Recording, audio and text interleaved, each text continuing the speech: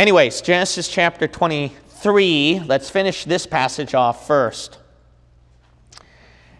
Genesis chapter 23. If you recall, they exchanged current money with the merchant at Genesis chapter 23 and verse 16.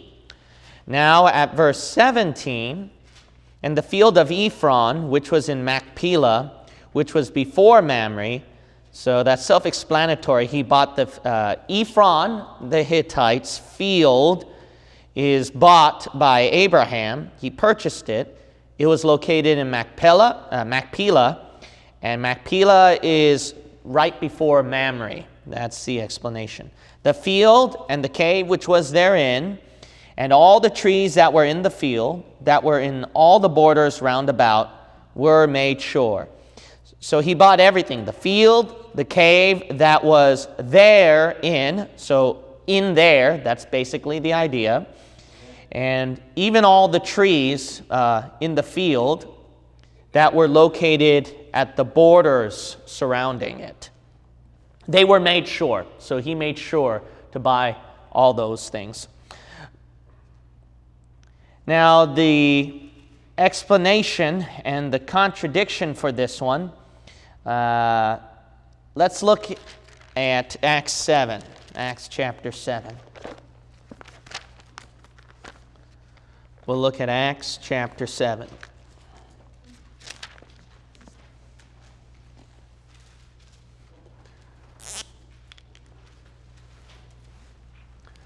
So let's conclude some things here with uh, the cave, Machpelah, and then uh, I'll go toward this side when I'm going to discuss the Christian church.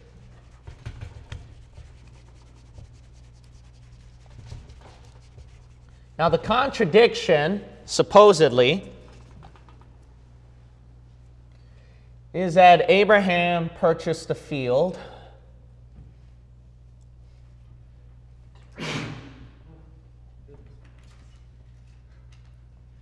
and then cave. Let me know when I'm out of bounds. And notice that there seems to, it seems to not match. It seems to contradict Jacob when he purchased property.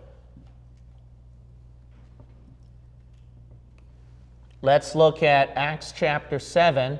There are there's going to be probably four passages that we're going to ter- turn to and examine the contradiction. Acts chapter 7.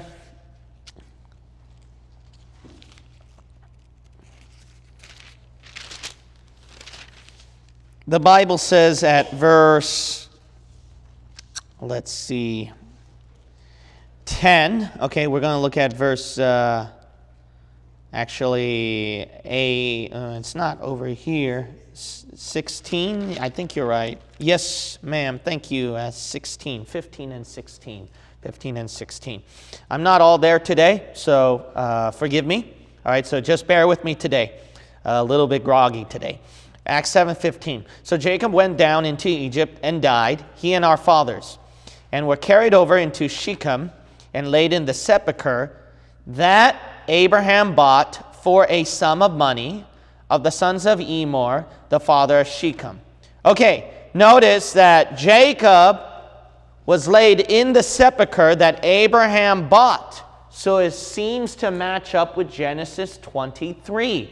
It's the area that Abraham bought, and it says over into Shechem. Now go to Genesis.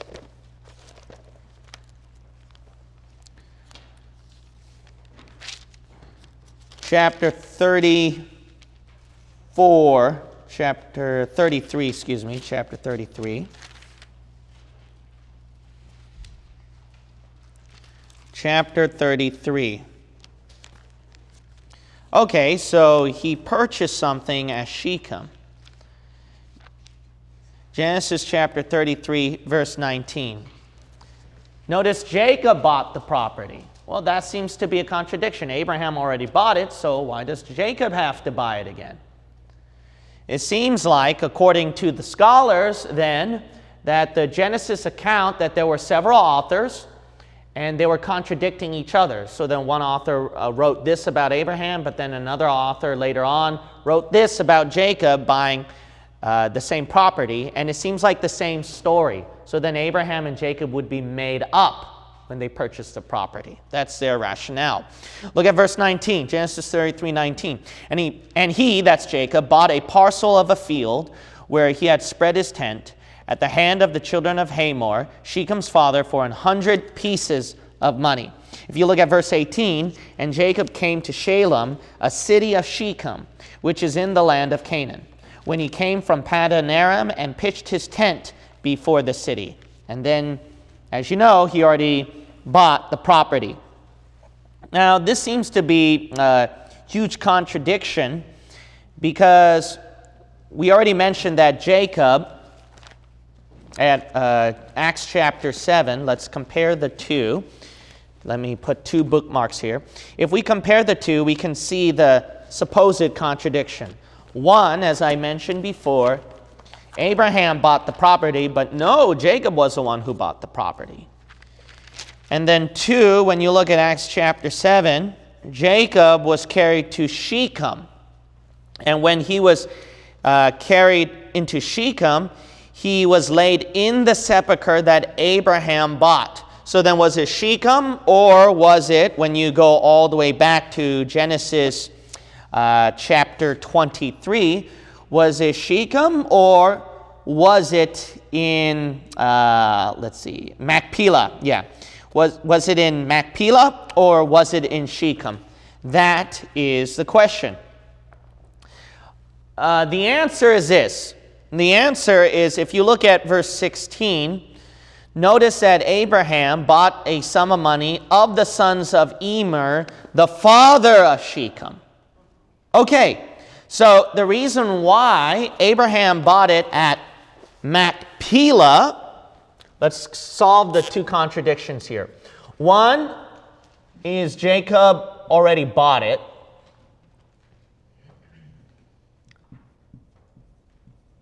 And then two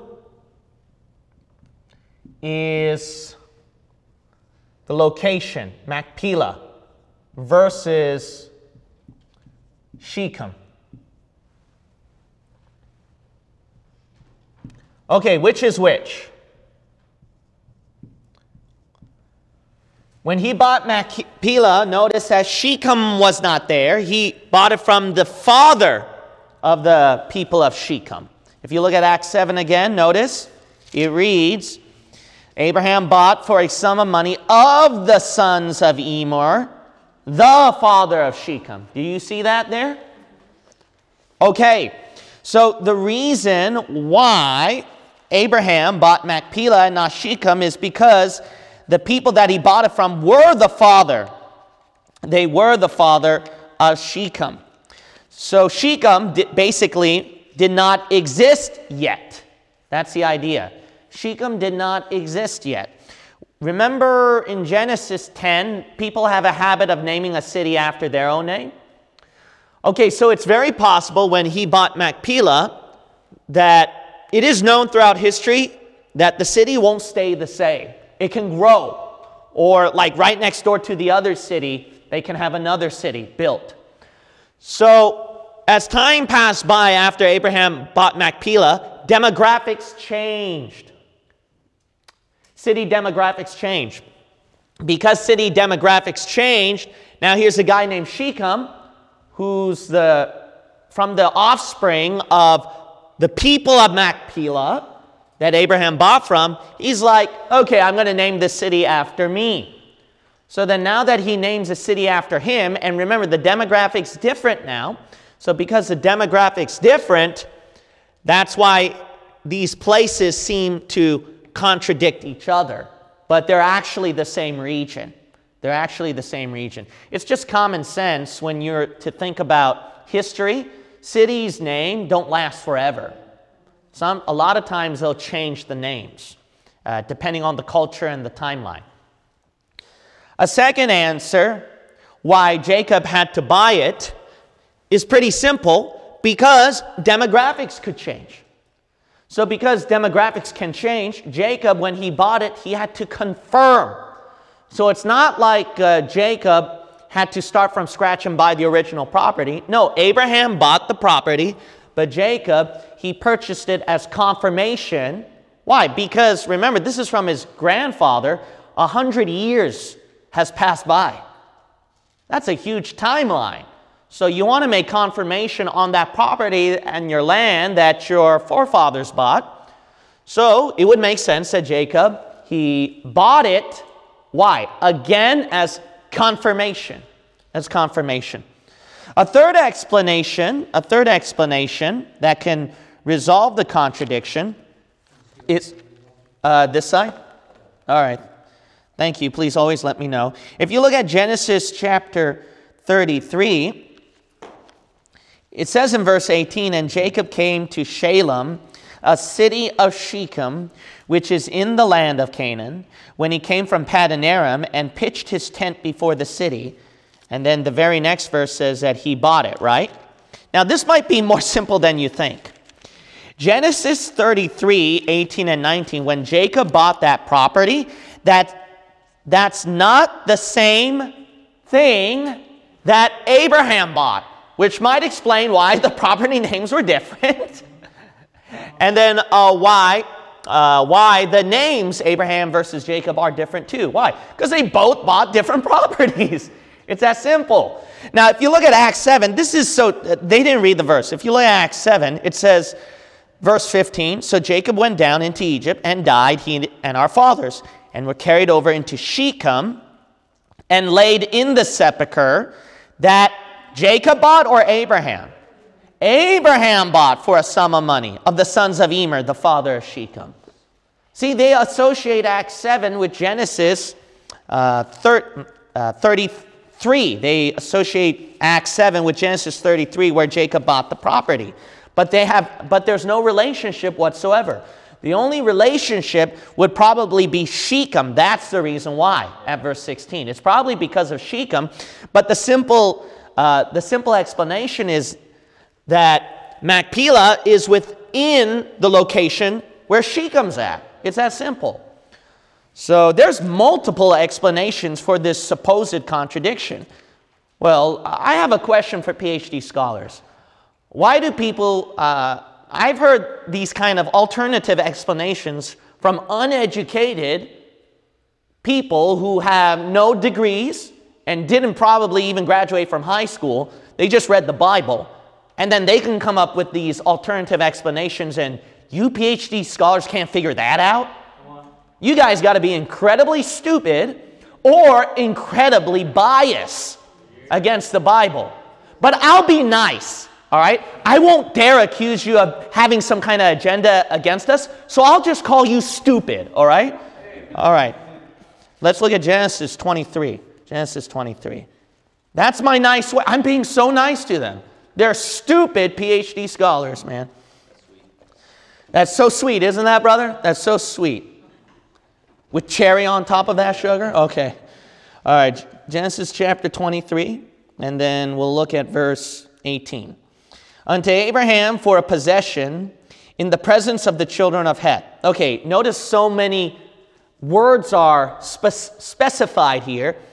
It's as if the Holy Spirit is presenting a legal matter, like a contract, buying certain property terms. So the, the Bible is filled with all sorts of different languages, not just scientific, not just mathematical, but even uh, legal terms, believe it or not. Uh, it's very specified to make sure of things. If you look at verse 18, unto Abraham, uh, so all these things, the trees, the cave, the field, unto Abraham. To Abraham, it, was, it gave to him for a possession, and it was as an eyewitness testimony in the presence, the audience of the children of Heth, before all that went in at the gate of his city.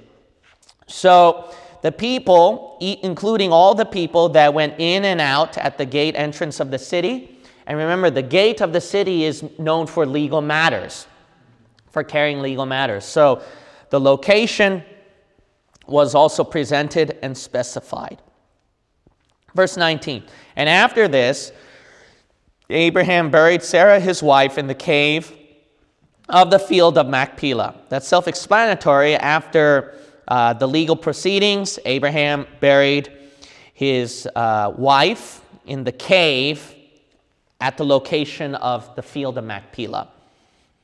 Before Mamre, so it's like right before the presence of Mamre. Remember, Mamre was where Abraham lived. Mamre was where Abraham lived, so it was not far. The same is Hebron in the land of Canaan. Notice right there at the last part of verse 19, Mamre is also another name for Hebron. And I've already explained that sometimes when there's different location names, different location names, it doesn't mean a contradiction. It sometimes there are multiple people in different localities giving it different names. Amen. That happens. That happens. Like uh, a lot of people will know my wife to be uh, Minjung, or they'll call her uh, Sister Kim or Samonim, and I give her a different name. And no, you have you don't have my permission to give her that name.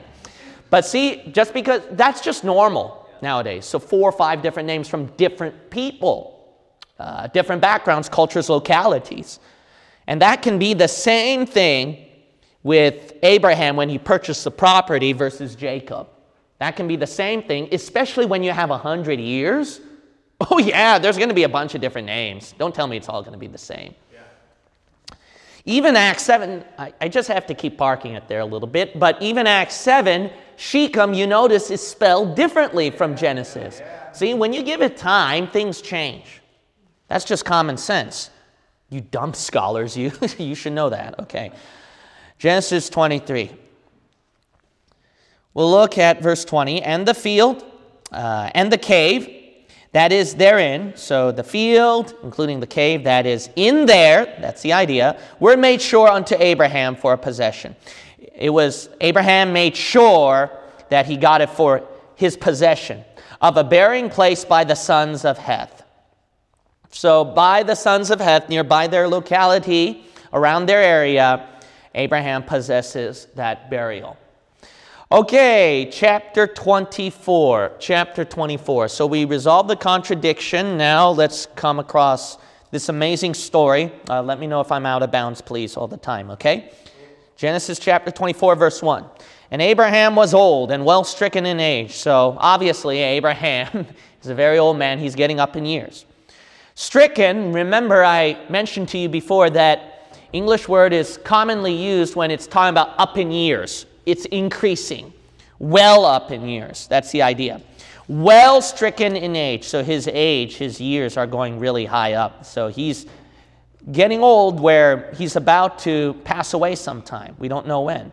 And the Lord had blessed Abraham in all things. So the Lord blessed Abraham with all sorts of things, all kinds of things. So he had pretty much everything he needed. Verse 2 And Abraham said unto his eldest servant of his house, that ruled over all that he had. So Abraham summoned the what they called the primary servant of his own household. And he was the guy in charge of everything that Abraham had. He ruled over everything he had. Now we can guess uh, who this servant is. One is it's the eldest servant of the house and ruled over everything that he had. If you remember that, then when you compare with Genesis 15, you compare with Genesis 15, we definitely know who this guy is. So this guy is undoubtedly Eliezer. The clue is because he is the servant, the servant, that would rule over everything in Abraham's place.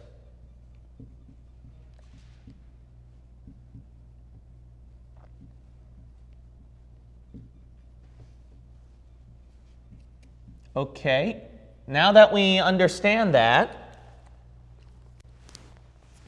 look at Genesis 15. The verse says at verse 2 And Abram said, Lord God, what wilt thou give me, seeing I go childless, and the steward of my house? Okay, that's the primary servant. That's what steward is, the one who's in charge of everything. Is this who? Eliezer of Damascus.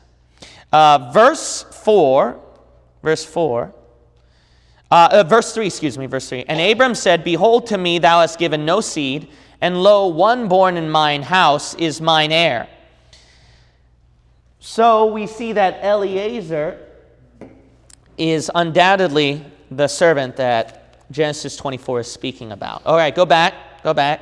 First clue. It has a beautiful picture of the church, okay? So one is Eliezer. You might say, why so? Because he pictures the Holy Spirit. He pictures the Holy Spirit. Actually, I'm going to put it up here since Eliezer's up there.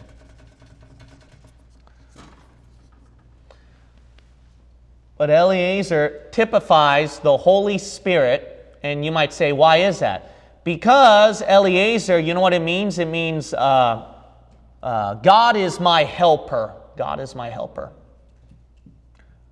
Now, doesn't that match? Go to John 16, John 16.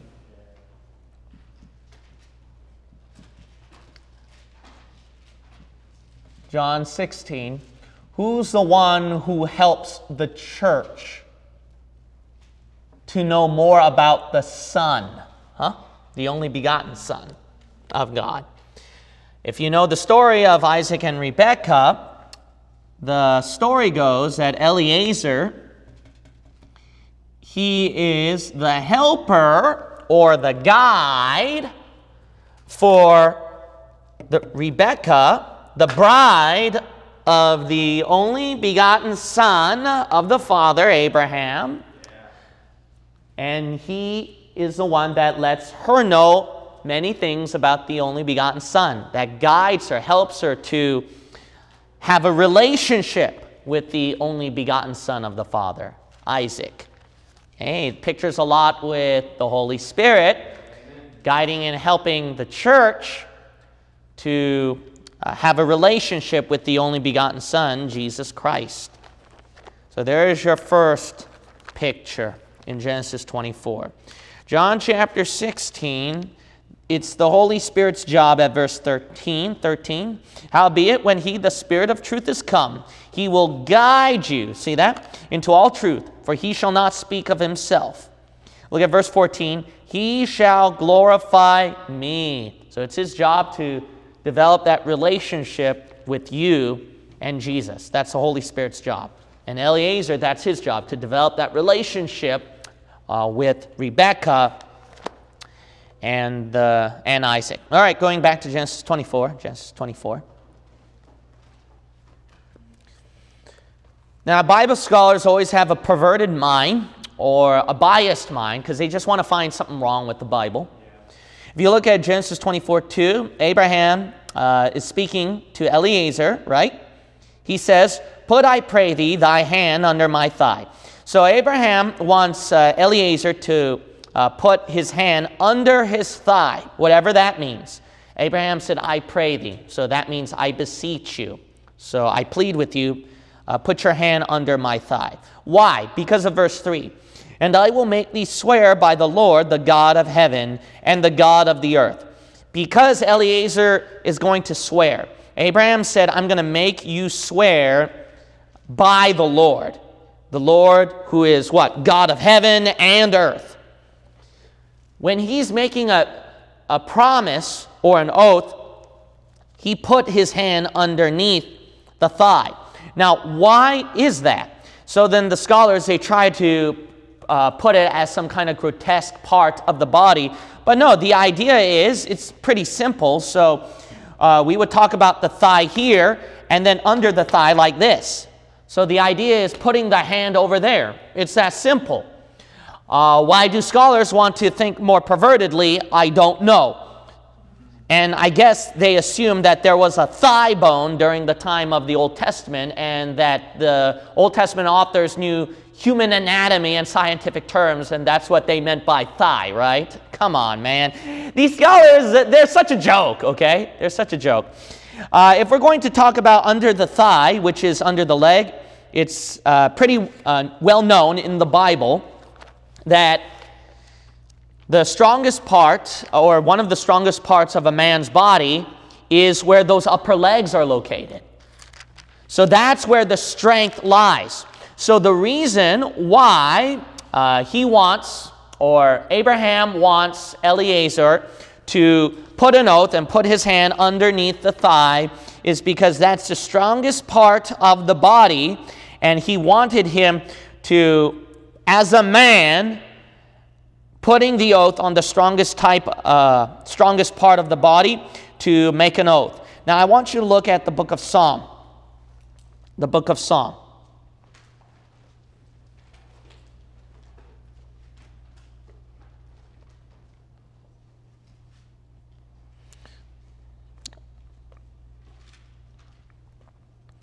We're going to look at the book of Psalm 147 and verse 10.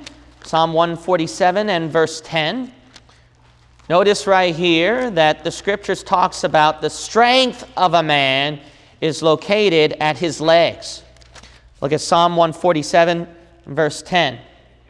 The Bible reads, He delighteth not in the strength of the horse, he, take, uh, he taketh not pleasure in the legs of a man.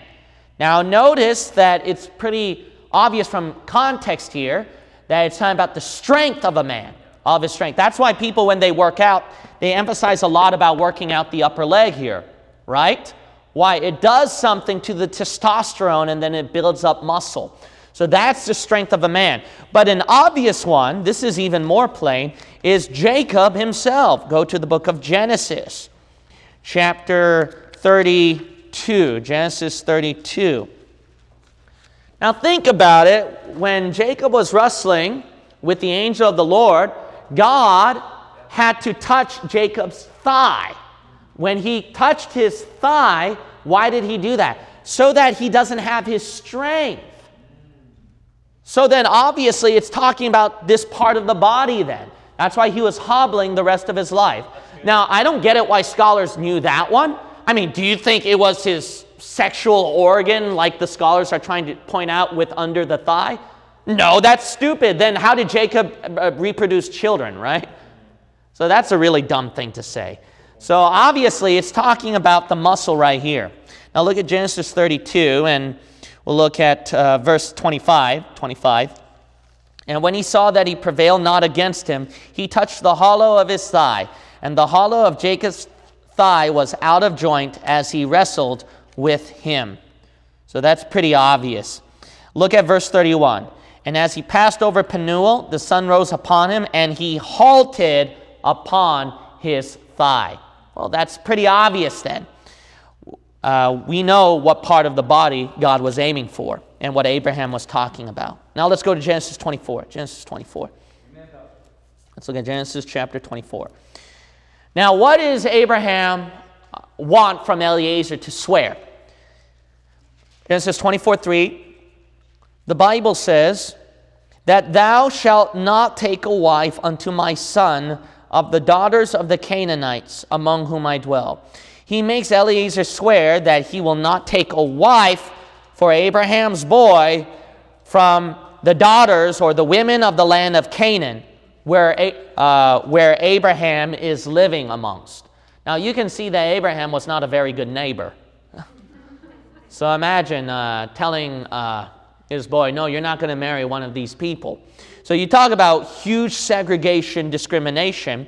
Now, remember, when we started at Genesis chapter 9 and 10, we could see that God's, it wasn't laid out clearly, the rule. The rule is definitely clear under the Mosaic law that you cannot marry anybody outside of your own nationality. The Mosaic law was very clear that the New Testament it became more obscure. In Genesis chapter 9, however, we see that it wasn't clearly laid out, but we could see that when God commanded them to spread out throughout the earth, the obvious intention was, I don't want you mingling with each other. I want you to spread out. So I already explained that at Genesis 9 and 11. I explained that thoroughly. That was the original intention. Then Genesis chapter 12, it was pretty plain that God he wanted a separate new people. So he wanted a segregated new brand of people because the whole world just got corrupt from what Nimrod did, from the Tower of Babel mess. So because that was God's intention was to start a brand new people that would be holy and pure, untainted from the world, that's the reason why, that's the reason why Abraham knew that and said to Eliezer, You're going to make sure it's going to be kept that way, when he said that at verse 3. Let's look at verse 4. Uh, but thou shalt go unto my country and to my kindred and take a wife unto my son Isaac. So Abraham tells Eliezer, You're going to go to my country. So back to his homeland, his home place where he left, and to my kindred. So Abraham's family line. And take a wife unto my son Isaac. So he's going to pick a wife from that family line for his son Isaac. So notice it's within the family tree. Uh, remember, at the timeline of Moses, I'm not going to explain it again because I've explained it so many times. Genesis has a problem uh, where critics point out that there's this inbreeding going on. So it's pretty grotesque. But I already explained that during the timeline of Genesis was very different from the time of Moses, especially to today. And not only that, when you're arguing about morals, you're kind of funny when you don't believe in morals yourself and argue that it's relative. And if you want to, the reason why you don't want to argue for morals, I know why. If you argue for morals, you have to argue for the existence of God. So then, when we see these, uh, this so called inbreeding versus the Mosaic time, how they perform marriage, and the New Testament time when they perform marriage, it just shows that there has to be a standard or an authority there who can make the morals as we go. So that just proves the existence of God. It doesn't you know, they try to point out what's wrong with God, but every time they try to point out what's wrong with God, it's like they're demanding there has to be a God in order to prove that it has to be wrong. If there is no God, you can't prove it to be wrong. So when they give these arguments, always catch that. It's always cl- clever. It's laid out for you. Basically, every time they argue what's wrong with your Bible or with God, they're demanding there has to be a God, there has to be a Bible. Okay, let's go to Genesis chapter 23. Uh, 24, excuse me. And then verse 5 And the servant said unto him, Peradventure the woman will not be willing to follow me unto this land. Eliezer, the servant, obviously would respond this Well, uh, what if the woman is not willing to follow me all the way back to this land, to the land of Canaan? Peradventure means what if. That's the idea. So Abraham, uh, Eliezer is saying to Abraham, What if the woman is not willing to follow me all the way to this land where you and I are at, Abraham? What if she's not willing to make that long trip? Verse 5 continues reading, Must I needs bring thy son again unto the land? So, from whence thou camest. The interpretation, Eliezer is asking, uh, Must I, do I have to needs bring thy son. So is it necessary for me to bring your son to the land where you came out, Abraham? The idea is, should I, uh, will it be necessary when worse comes to worse that I'll have to bring Isaac to your homeland, Abraham, so that he can uh, marry a good woman there? But verse 6 and Abraham said unto him, Beware thou that thou bring not thy son, my son, hither again.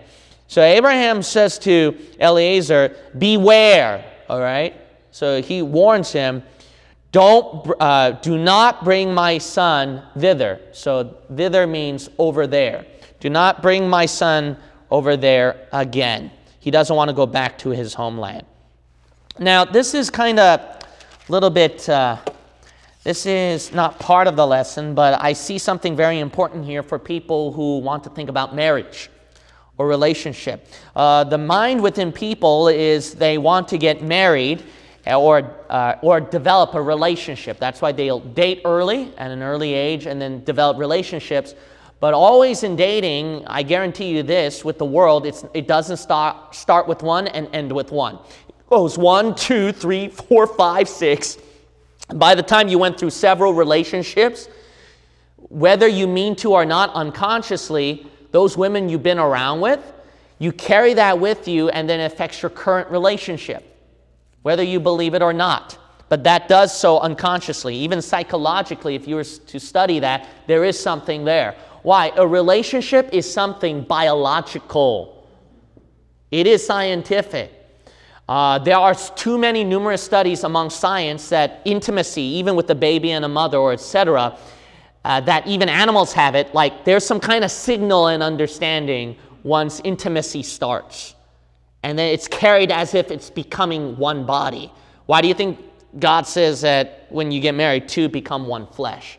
There's something more, that's very scientific in turn. It's not just poet, poetry language there. It's very scientific there, even psychological. So that's the problem with people nowadays. But one, you'll notice right here that at uh, chapter 24, Isaac waited for the right time. He waited a long, long time before he was able to marry Rebekah. I think he was in his late 30s or maybe even uh, low 40s that time. But he was still able to marry a beautiful woman. One. Number two, you'll also notice that he had a lot of uh, disadvantages. Isaac can't just marry whatever woman he wants to. It has to be completely segregated as God's own people. So this shows a Christian marriage, so to speak. You're only going to marry a saved believer. Secondly, you'll also notice the disadvantage that he can't uh, move wherever he wants to. He has to stay where God calls him to stay. And then the woman has to follow God's will in being called out when she gets called out. Now, you to- notice a total disadvantage here, but that's how right marriage is done and how God's going to uh, bless a family. If your marriage or your relationship don't start like that, that's the reason why you're struggling right now if you didn't start out that way. So that's why it's so important to start out right first. That way, later on, God's blessing can be poured upon earlier, and then the marriage can become smoother. If not, then you have to clean house right now, and that's the reason why your relationship is still a struggle. Now, I know that we don't, uh, I, I don't have like uh, teenagers here yet, but once we get the, uh, once we have a huge amount of young people and teenagers, that's why it's so important to not rush things. And, you know, let's be honest, young adults, we do act like teens still. Even uh, lost secular psychologists, even like Jordan Peterson, mentioned that we are now living in a day and age where uh, uh people who are 30 year olds are still acting like teenagers.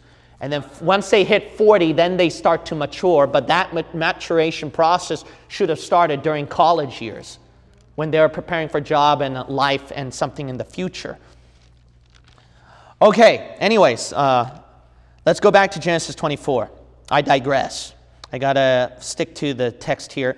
But there's a lot of rich stuff here about relationships, uh, dating, and marriage in Genesis 24.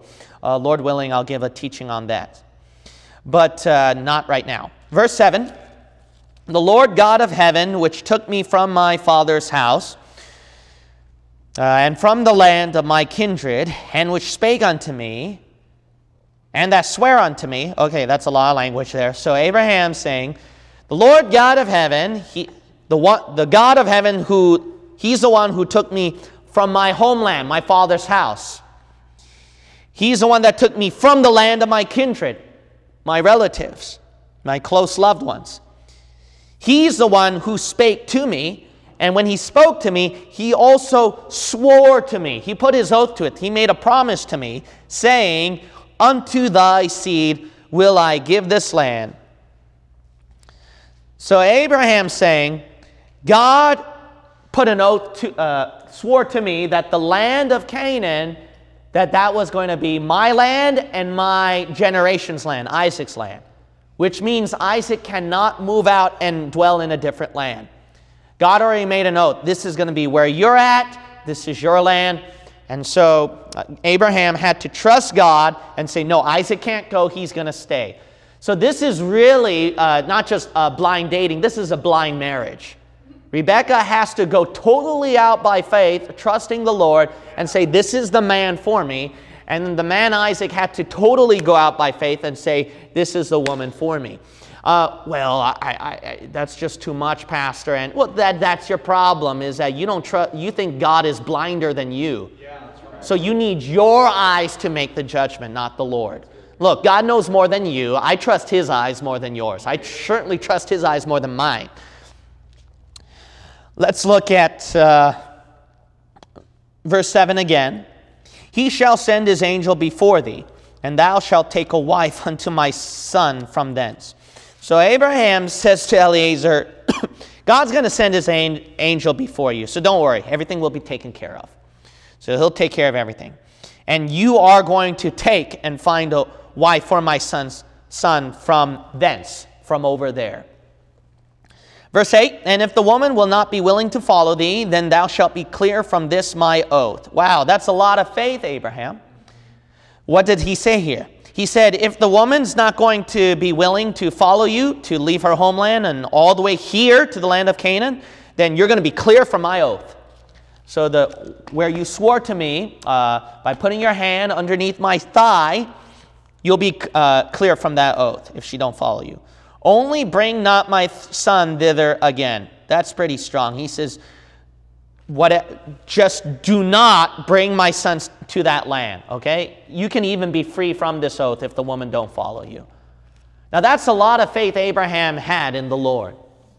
I don't know how many of you have that kind of faith at verse 8, especially in your relationship life. You always have to have a plan. You always have to have everything set up and then the, the right feeling and everything. No, you cannot do that. You got to put your trust in the Lord. Well, I, you know, I got to go to that land. I got to go to that unsafe place. I got to do that worldly thing. No, no, no, no. Abraham was so adamantly against it. He said, no, anything but that. You can even be clear from the oath. Abraham was that adamant. Why? Because he had that much faith that God would provide for him. Why? Because God said that uh, your seed is going to be numerous as the sand of the sea. Abraham had so much faith. Why? He already sacrificed his Isaac. I wonder how many of you did that. See, when you experience that sacrificing of Isaac, that unexplainable faith comes out in everything in life. And if you're struggling with uh, having faith in the Lord in your relationship, then I would dare say you did not sacrifice your Isaac yet. It might be a good time to do that. Isaac went through that experience too. Remember, he was, had to be willing to lay down his life so that Abraham could sacrifice him because he was more strong than Abraham. Did you sacrifice your Isaac yet? If not, then you're not going to have a happy relationship later on, a marriage, or God forbid later on, a family, and then grandchildren after that. That's why it's always best to start out right, okay? It's best to start out right so that the rest can come out right.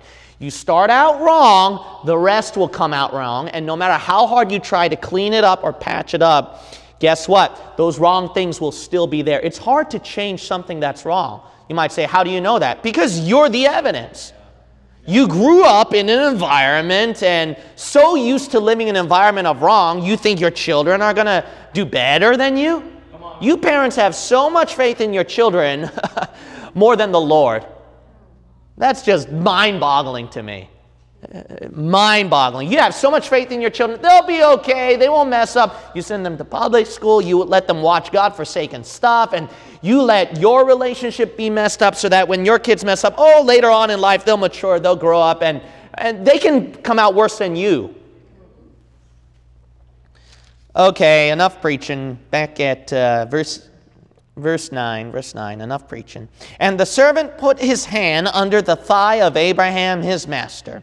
So the servant, he puts his hand under the thigh of Abraham, and Abraham's his master, and swear to him concerning that matter. So concerning the matter of everything Abraham talked about, Eliezer swore. Now begins the romantic story at verse 10. And the servant took ten camels of the camels of his master. Nothing important, you know, numbers are not that important in the Bible if you're a Bible believer. So the servant selected, you know, by, by just sheer random chance, 10 camels out of the camels of uh, Abraham, his master. Now, 10, if you know in your Bible, 10 is a Gentile number. Oh, another picture here. The church, when God switched the program for the church being his bride, he switched from Jew to who? Gentile. Thank you. Look at that. Look at that. there's something going on in this marriage that God's about to do. So it's amazing how Eliezer went by the number 10 when he started his journey to find a bride. Can I get a running of the aisles there? What did you mean by that? The Holy Spirit went by a number 10 as he started its journey to pick up the church bride of Jesus Christ. Evidence Acts chapter 10. He started the Gentiles to be included within the church. Acts chapter 10.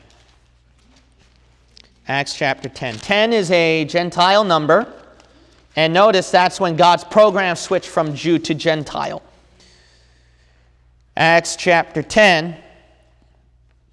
Notice verse 1 there was a certain man in Caesarea called Cornelius, a centurion of the band called the Italian band. So notice that the Italians were the first to start off with the Gentile church. And this was uh, pretty big to the Jews because they're like, why would God pour out his Holy Spirit upon the Gentiles? But Peter explained to them that it's not just the Jews, now God poured it on the Gentiles. Look at Acts chapter 11. Acts chapter 11. Acts chapter 11. Notice at verse, let's see here. 17. For as much then as God gave them the like gift as he did unto us, so Peter saying, just like God gave the Holy Spirit to the Gentiles like he did to us, who believed on the Lord Jesus Christ, what was I that I could withstand God? When they heard these things, they held their peace and glorified God, saying, Then hath God granted also to the Gentiles, granted repented, repentance unto life. Notice that verse 16, uh, verse 15, and as I began to speak, the Holy Ghost fell on them, as on us at the beginning. So the Holy, so Eliezer at Acts chapter 10 chose to come down at that time to start the journey for the bride. Amen. Okay, let's go back to Genesis. There's a lot of rich pictures here. A lot of rich pictures. Returning to our main text, Genesis 24, and then verse 10 and departed, for all the goods of his master were in his hand. So Eliezer took ten camels and left the land and had all the goods, all of his master's goods at his disposal. So at, in his hand, that's the idea, the phrase, at his disposal. And he arose and went to Mesopotamia unto the city of Nahor. So Eliezer got up, went to Mesopotamia, uh, unto the city of Nahor. Remember at Genesis 22 laid the groundwork of Nahor. That's from Abraham's family lineage. So he's going to Mesopotamia, where Abraham's family is located. Nahor city. So Nahor is going to be an important character, that means. So he's going to be brought up in the future. Verse 11 And he made his camels to kneel down without the city by a well of water at the time of the evening. So then the servant made his uh, camels kneel down without the city. So that's outside of the city. So you'll notice at this picture here, the camel is uh, outside the city. Uh, let's see right here. Verse, uh, I just lost my uh, point here. Oh, here it is. Okay uh, by a well of water at the time of the evening. So at the evening time, so I try to draw it out as best as I can. So it looks like evening time here, and then he's by a well of water. That's where his camels stop. Even the time that women go out to draw water. So notice it's at the time, the right time. Like Eliezer came at the right time. High time as, hey, here's a high chance where women are going to come out to draw water from the well, and then I can pick the right woman. So notice that the Holy Spirit has no problem at the right time, at the best time, where He can find the right mate. So always trust the Holy Spirit, not your own flesh. Amen. Always trust the Holy Spirit, not your own flesh. And he said, O Lord God of my master Abraham, I pray thee, send me good speed this day, so he's praying to God. He says to God, uh, the God of my master, Abraham, I'm praying to you. So, good speed, that's another word for God's speed. Now, a lot of Christians always say good luck, but you don't want to say that. We don't believe in luck. A word that replaces good luck actually is actually Godspeed, also known as good speed. That's the same thing as good luck, but we don't believe in chance or luck. We believe in God. That's why we say Godspeed. See that? Because we believe in God. So next time, if you want to uh, wish someone good luck, don't say good luck, say Godspeed. You want to say Godspeed. So he says, uh, please give me Godspeed. At this day, today, and show kindness unto my master Abraham. So the servant's uh, begging and praying to the Lord, please show kindness uh, for my master Abraham, where basically the Lord can send good speed and find the right woman out of kindness for uh, his servant, uh, for his faithful servant Abraham. So that's what Eliezer is praying for, for Abraham's sake. Would you show kindness? Verse 13 Behold, I stand here by the well of water. So, behold, that English word has been commonly used throughout Genesis. That's an that's uh, the word that always introduces to pay attention to what I'm about to say here. That's the idea. Eliezer is saying, I'm standing here by the well of water, God, and the daughters of the men of the city come out to draw water. Eliezer says, uh, The women from the men of the city, so the daughters of the men from the city, are coming out here to draw water, to pick up water. And let it come to pass that the damsel to whom I shall say, so Eliezer says, let it happen. That's the idea of let it come to pass. So I want this to happen that uh, if it turns out the damsel, so the young lady, uh, that who, this young lady that I'm going to say, what? Let down thy pitcher, I pray thee, that I may drink. And she shall say, Drink, and I will give thy camels drink also.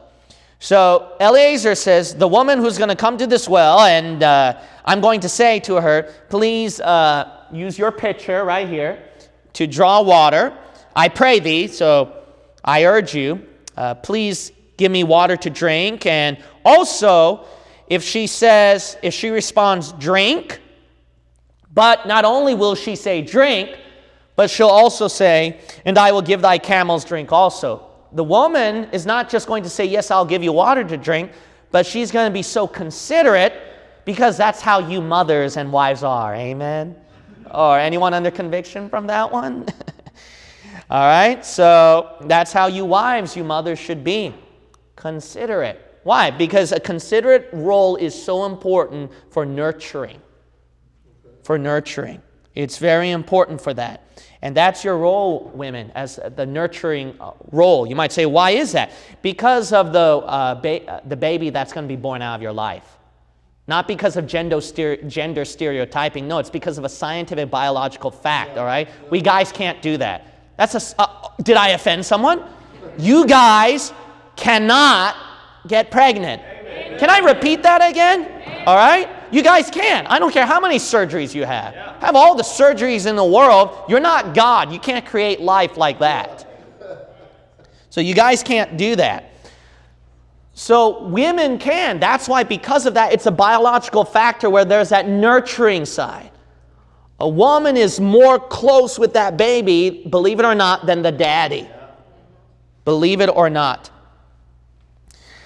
Uh, let's see right here. So then, because of that consideration that woman would have, that, hey, uh, you know what? I'll also give your camels drink too. Now, you know how much work that's going to be? You know how much water a, camel's drink, a camel drinks? One camel? But he's, he brought a train of camels with him. All right, that's going to be some woman to say that. Notice Eliezer had the faith of Abraham. That's a good influence Abraham had. He gave a good influence to that whole household. He gave that much influence to his son Isaac. He gave that much influence to his servant Eliezer. Why? Because he's been watching his master. Oh, what faith that uh, our church would be like that too.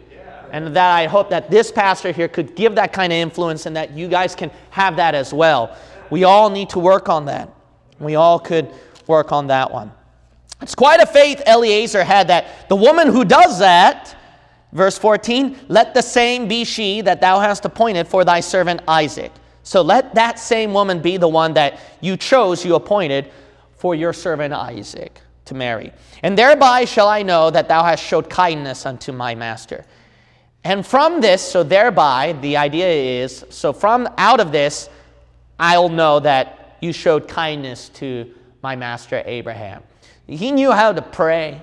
He knew how to pray. Uh, I think that this is one example of prayer. Uh, I have a lot of teachings, ideas on prayer, but this is one passage on prayer that you want to pray for good speed. Good speed. You want to pray for good speed. And also for the Lord to show kindness.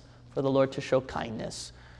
So, how you get answered prayer, remember, is you uh, basically, oh, I'll just say it, that you basically bet it on his attribute. Remember, when you bet it on his attribute, you get better answered prayers, right? So he betted on the attribute of God's kindness here. That's what happened. Now, that's a lot of faith uh, that he had. Let's see. Uh, I want to cover this. So I'll just cover it now. Go to John 4. Now, another picture. Go to John 4. I'll cover it now. John 4.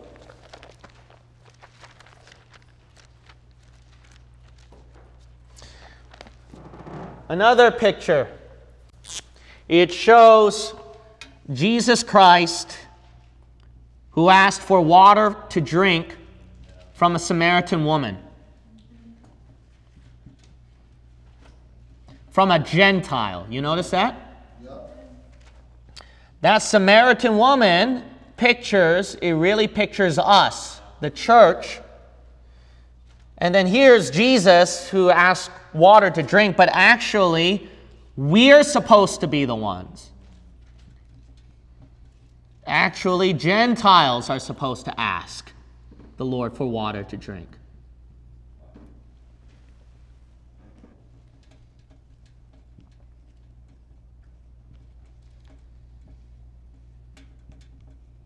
Now let's look at the book of John 4. And it's by a well, as usual. I'm sure the Lord Jesus Christ, he was thinking of Genesis 24 when this happened. Amen. I'm pretty sure. Genesis chapter 24, uh, Genesis chapter 4, excuse me, verse 6. Now Jacob's uh, well was there. Jesus, therefore, being wearied with his journey, sat thus on the well, and it was about the sixth hour. There cometh a woman of Samaria to draw water. Jesus saith unto her, Give me to drink. Verse 9 Then saith the woman of Samaria unto him, How is it that thou, being a Jew, askest drink of me, which am a woman of Samaria? Verse 10 This is quite something. Jesus answered and said unto her, If thou knewest the gift of God, and who it is that saith to thee, Give me to drink, thou wouldest, thou wouldest have asked of him and he would have given thee living water. Notice that the bride, the church, is to ask for water. Revelation 22. Revelation 22. Revelation 22. How humbling. Uh, isn't the Holy Spirit the one who offers water? Eliezer typifies the Holy Spirit. He's the one that gives water. But it's amazing that he has to ask the church for water to drink instead. Look at Revelation chapter 22, verse 17. And the what? Spirit and the bride. I'm sure God had in mind Eliezer and, Rebe- and Rebekah. Come and let him that heareth say, Come, and let him that is athirst come. And whosoever will, let him take the water of life freely. There's no doubt a connection of the picture of the Holy Spirit and the bride with all of this, with asking water. It's rich with pictures. Okay, so we end right here. There's a lot more pictures in Genesis 24 about the church. Heavenly Father, I want to thank you so much uh, for your book. It's a blessed book, it's a holy book, and even the pictures, not just the words, but the pictures in it, is amazing where it teaches something valuable and sacred and what we can apply to our lives. I pray that we will truly feed on your words and continually grow. In Jesus' name we pray. Amen.